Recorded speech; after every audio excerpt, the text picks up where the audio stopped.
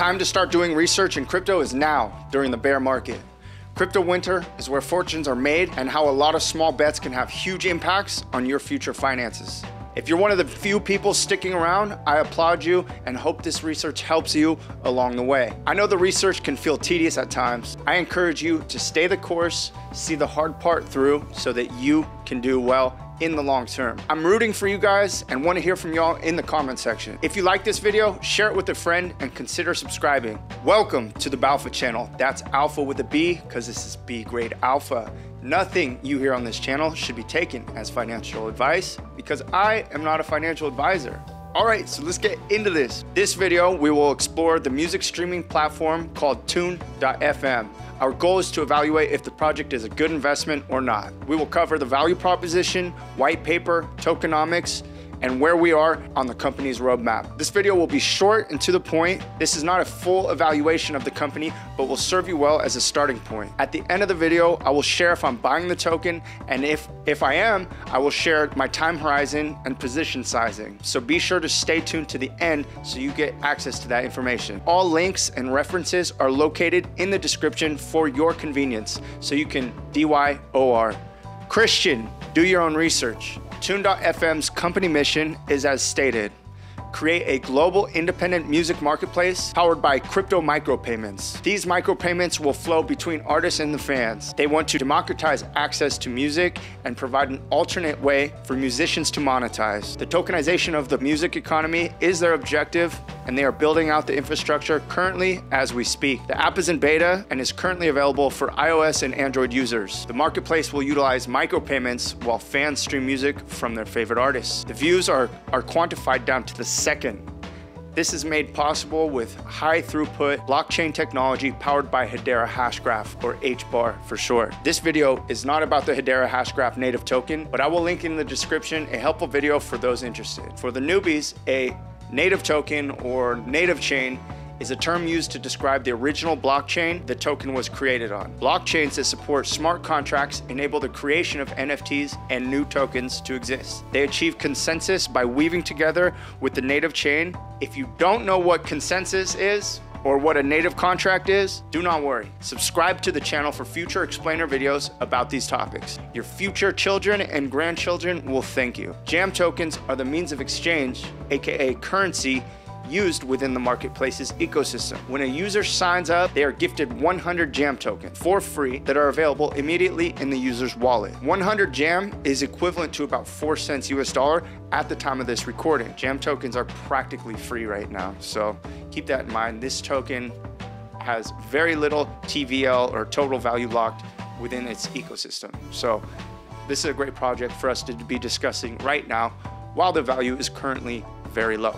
The Jam token is used like gas when you browse and listen to the music on the platform. Every 9 seconds, you stream a song on the platform, a very small amount of Jam token is transferred from the user's wallet into the artist's wallet. These micropayments allow for a very clear and transparent way for creators to get paid. This process like I said, is down to the second and provides objective on-chain truth to be witnessed by all parties. This is the beauty of cryptography as a technology and a great way of implementing a consensus algorithm. Tune.fm's tech is giving artists the option to promote a song by paying users to listen to the music. If the music is good, then you can follow them and discover new artists you like. This is a unique feature and can be used by upcoming artists to expand their fan base. Tune.fm wants to offer musicians the ability to promote songs in specific cities and regions. Artists might consider doing this before going on tour in hopes to increase turnout at shows. I'm curious to hear what you think about this as a listener or as a musician. Would you like to get paid for listening to new music? Would you pay to have people discover your music? Tune.fm is funded and governed by companies like Google, IBM, Boeing, LG, Animoca brands, and many more. This does not guarantee their success, but puts them in a very strong position.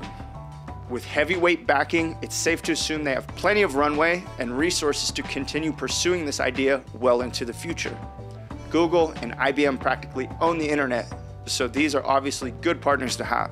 In their white paper, they show a few interesting charts that I'll bring up on the screen for you to view. Streaming has grown to a much larger share of total music industry revenue since 2017. This trend has continued over the past five years. The slice of this pie continues to grow, so do the opportunities to capitalize. With the rise and merging of distributed ledger technology and streaming, I find it a natural fit. Let me know what you think though.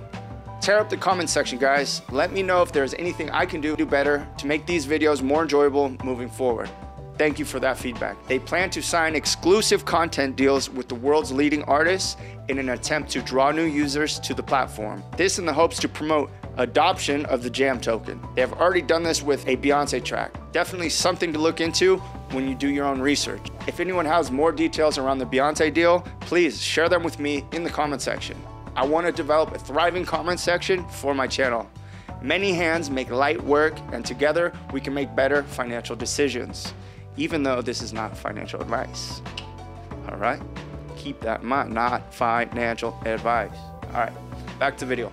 As the white paper states, they intend to integrate and develop a NFT marketplace and functionality. They look to be making the JAM token inherently valuable through the sale of the NFTs. NFTs that have real world experiences associated with owning the NFT. What these experiences will look like and become is up to the artists themselves to decide. Tune.fm intends to host what they are calling Jam Fest, and will feature top talent discovered on Tune.fm. This event will hold contests for upcoming artists to get a chance to play alongside top headliners. Festival passes will be discounted when purchased in Jam. Artist-controlled payouts is another interesting feature offered by the platform. This allows for band members to structure payments however they see fit. If the writer and lead singer is to be paid more than the drummer, for instance, they can have the payout structured this way at the click of a few buttons. The entire ecosystem seems to be very well thought out and looks promising in my opinion. Let's now get to the details of the token itself and how the team plans to distribute. This is where I have a few questions and concerns about the language used. There's a lot of corporate jargon, lawyer jargon in the disclaimer section of the white paper. Yuck, bro, gross. This is not what you want to hear, but hey, this is the world we live in. The most concerning part is the infinite token supply. Anyone participating in the project is reliant on the team not to magically issue themselves infinite numbers of tokens. You can say the same thing for many projects and likely is not an issue, but the team would do well to provide clarity here. initial supply of tokens is 1 billion with a total number of 20 billion tokens by 2030. There is a section in the white paper that states token issuance team will mint jam on an as needed basis. I find that to be very vague. With decentralization, we do not need to be vague anymore. This is my biggest doubt when considering the project's potential to do well. Glaring issues and doubt should be addressed by the team right off the jump. Initial jam allocation are stated to be approximate and are subject to change at any time. 60% of tokens are for the public and 40% are for the team. I went into their Discord and talked with people and they all seem to be very interested and involved in the community. This is a good sign and one of my prerequisites for a thriving new token. In conclusion, and with these factors at play, I have decided to take part in the project. Just to be clear, guys, understand that I have a five to 10 year time horizon for this investment. I will dollar cost average into the JAM token over the next year, a total of $1,200. That will be $100 a month for the next 12 months. This is a very small portion of my crypto portfolio, and I consider this project extremely risky. To be very clear, I am perfectly okay with this investment going to zero. I have a very high risk tolerance and will have little to no emotional connection to this play. This is generally how I like to play these types of long shot crypto investments. Everyone has their own risk tolerance, and it's important when investing to know what yours is. Only put up what you would be comfortable losing. Do not, I repeat, do not overextend yourself out of greed or overconfidence. Good luck and see you on the other side in Richville, USA. Suckers! This is yet another music and NFT related project that I wanted to bring to you guys as soon as possible. This is going along with the past video that I just made um, regarding Royal.io. So if you guys haven't watched the other video, I'll link it right here. Royal.io is another project that I really like related to music. I think that music, the music industry as a whole, is going to be completely reshaped by Web3 technology. Blockchain has so much to offer in regards to transparency and structuring better payment systems for artists and for the fans as well. So that's my thesis. Let me know if you guys agree with me down in the comment section. Holler at me, say something mean, I don't care. Remember, I am not a financial advisor.